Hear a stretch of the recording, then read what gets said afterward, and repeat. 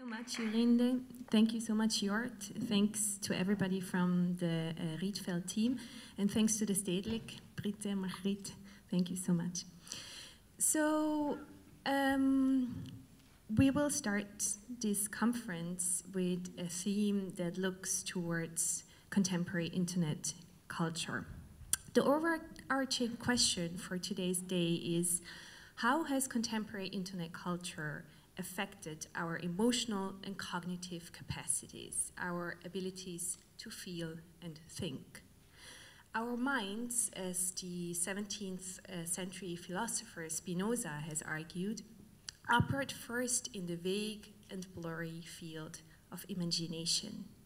Here, feelings and thoughts, images and, and sayings converge before reason makes sense out of them. This conference day imagines network culture as such a field of imagination, a sticky universe of emotions and ideas, and addresses how digital platforms structure and make sense and organize this space. As the internet and mobile, mobile devices become ever more important, this space is affecting, shaping, and co-constituting the political climate as well.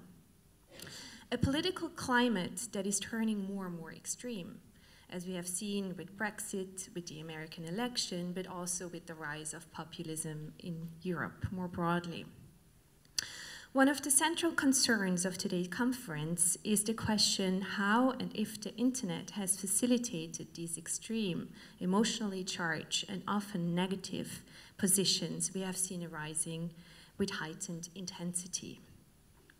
It will address the algorithmic and computational infrastructure that underpins this space, this sticky universe, it will talk about the interfaces, the platforms, and formats that disseminate our daily portion of information, and will address the relationship between shallowness and truth, emotions and ideas, fact and fictions.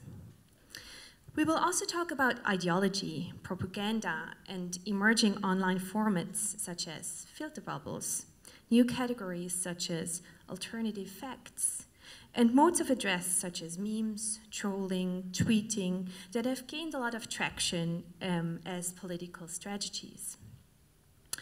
We will start with a presentation by Paul Feigelfeld that will give us a sense of this technologically afforded infrastructure and clarify how artificial intelligence makes sense of that infrastructure for us and provides the information that we consume daily. After this, two presentations hone in on the ugly feelings that are referenced in today's conference title.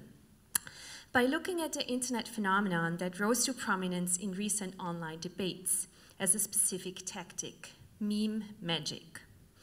Whereas Hannah Barton uh, will give us an account on how memes work more broadly and explain the phenomenon to us uh, in more general terms, Danielle Keller's presentation um, in the afternoon will present a proposal for a new kind of activism that can counter that kind of meme magic that has become so prominent and arguably so effective, especially during Trump's election.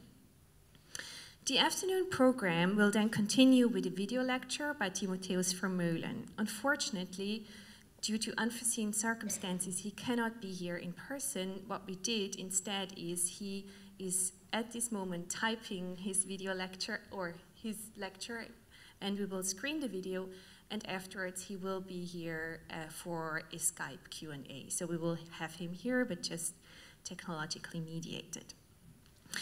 Um, his presentation will link to the postmodern phenomenon of shallowness and ask what and if truth has to do with postmodernism. The last contribution of today will be Elizabeth Orr's uh, performance, The Conveyor, that looks into the interconnection between interfaces and political performance. During the day, we will also be screening two videos, two short videos by the Canadian artist Jennifer Chan as well as um, Özgür Kar, um, an Amsterdam-based artist, who also studied at the Rietveld, by the way. So I would like to introduce you to the first speaker of today. Um, it's a great pleasure to be introducing you to Paul Feigelfeld. I first met Paul last year at a conference in Germany um, where he gave a presentation about the increasing invisibility of digital infrastructure. And I was struck by this presentation because he was not only able to explain digital infrastructure, but he also illustrated um, his explanation with very good examples of artistic practices. On top of that, at the end of his presentation, he also gave a workshop on encryption. So I was kind of impressed by that and um, his ability to link uh, a media uh, theoretical scholarly position with uh, a very refined understanding of technology. So Paul's work uh, is a rare case of a scholarly practice that bridges technical expertise with media theory. He has worked with Friedrich Kittler and Wolfgang Ernst, the big figures of German media theory, and was the uh, academic coordinator at the Center for Digital Cultures at Leuphana University in Lüneburg.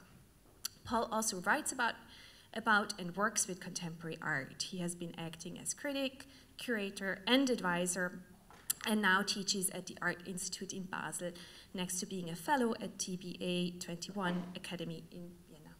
And with that, I would like to give it to you.